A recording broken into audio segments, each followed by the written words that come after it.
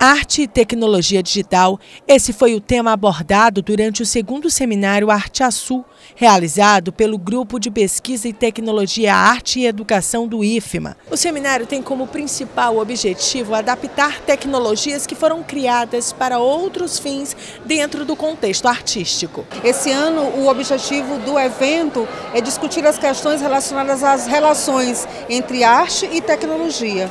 Como as tecnologias digitais criadas para outros fins são apropriadas pela arte e pela educação em arte. O evento de caráter científico foi aberto ao público interessado em conhecer um pouco mais sobre este tipo de arte no Maranhão. É muito belo olhar a sociedade pensante de São Luís reunida, né, buscando novos ares, juntando o novo e o antigo em busca de uma uma novo, de um novo horizonte, né, de viver um novo nas artes de São Luís. O primeiro seminário aconteceu em 2013 de forma experimental, mas a partir de agora vai entrar no calendário do Instituto Federal do Maranhão.